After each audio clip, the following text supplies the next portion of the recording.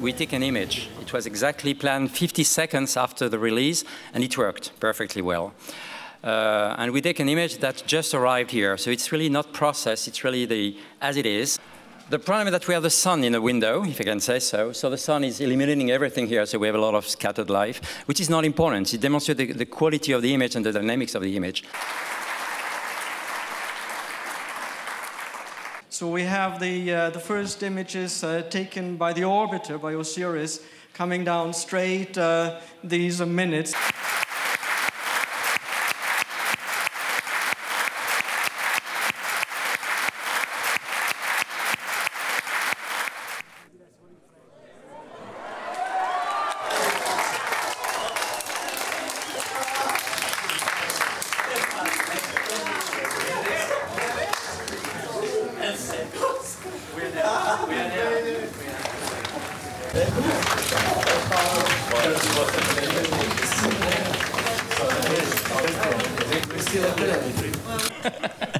We definitely confirmed that the lander is on the surface, and I leave it to Stefan. I think it's up to him to judge how it's going now on the lander.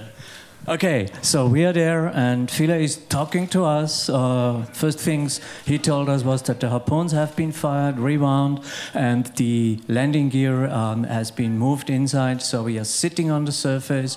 Philae is talking to us. More data to come and, and to be analyzed right now.